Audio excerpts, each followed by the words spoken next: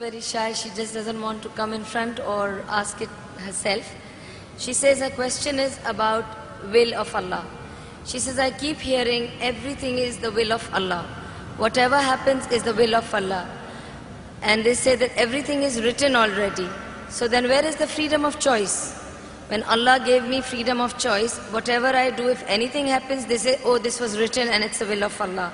Then she also says, even with Adam and Eve, similar happened. And if you could explain if there is so much, everything is written down, then what is my freedom of choice? Sisters asked a very good question, very important question.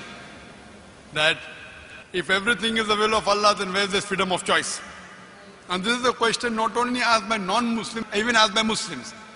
It's talking about qadar. That if it is mentioned in destiny, that I'm going to rob, and if I rob, who's to blame? Allah is to blame. If it mentioned in destiny, I'm going to commit murder, and I commit murder, who's to blame? Allah is to blame. So where is the free will? So if it is the will of Allah, or if it is mentioned in the destiny, I'm joining both together, then where is the free will? The reply to this question is, it's compulsory that every Muslim should believe in Qadar, but you should understand what is the meaning of destiny. For example, if suppose in a classroom, there are 100 students, and when the teacher teaches the students in the classroom at the end of the year, before the examination, the teacher predicts that this student, he will come out first class first.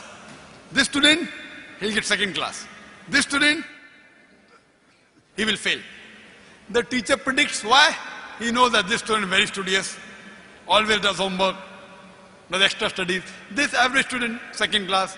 That student, you know, goes for movies, doesn't do homework, misses the class, predicts that that student will fail. Now, once the examination takes place, after the results come out, this student gets first class first, this student gets second class, that student fails. I am asking you a question. Can the student who has failed, can he blame the teacher that because you have predicted I will fail, I have failed? Who's to blame? The student or the teacher? Who's to blame, the student or the teacher? The student. The teacher predicted. Who's to blame the student? He did not study, he did not do his homework, he used to go for extra movies. So similarly, Allah subhanahu wa ta'ala has given the human being the free will. Allah has told you what is right, what is wrong, but the choice is yours. For example, if you come at a crossroad, there are four roads, A, B, C, D. You can choose any. You choose road C. So Allah knows in advance that when you come at crossroad, you will choose road C. So Allah writes, when the person comes at the crossroad, he will choose road C. So it is not because Allah is writing that you're choosing, because you will be choosing, Allah is writing. It is not because Allah is writing that you're choosing road C. It is because you will be choosing road C. Allah is ilme gab. He has knowledge of the future. He writes in advance. After you choose road C, you come at another crossroad, five roads, one, two, three, four, five. Like after you pass the 12th standard, you can become engineer, you can become doctor, you can become businessman.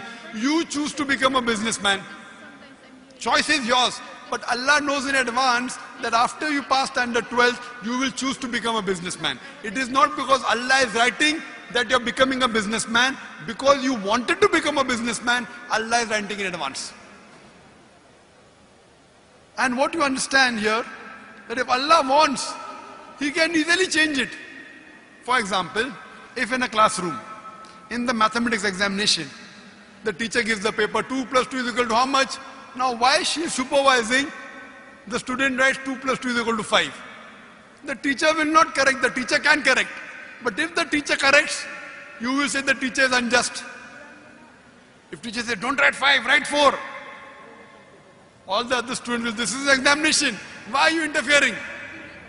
So if Allah wants, He can change. But because He has given you free will, He is letting you take your decision. So this life is a test for the hereafter.